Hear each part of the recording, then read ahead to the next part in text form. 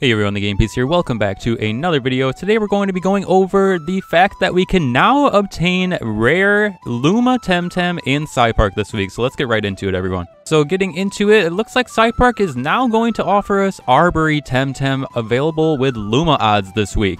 Usually in the past, they have taken some weeks before they introduce the new Temtem into Park, but it looks like this week that has changed.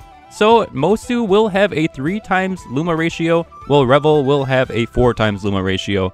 100% spawn rate for Mosu with an 80% spawn rate for Revel, and they both have egg moves of course, so Mosu will have a 16% chance of having an egg move, and Revel will have a 20% chance. So pretty good odds overall for those egg moves on it if you do in fact get a Luma. But go ahead and hunt your hearts out for these brand new Arbury Temtem. I'm really happy and pleased that they picked some Temtem that people are really going to want to go after. I do think that Revel is probably going to be the more popular one between the two here, but I'm really excited to hopefully test my odds and try to get at least one of these guys. But which one are you guys going to be going after this week? Let me know in the comments below and let me know what you guys think of Arbury so far. If you guys did enjoy the video, please feel free to leave a like and subscribe for more Temtem content on the way. Thank you guys so much and have a great rest of your day.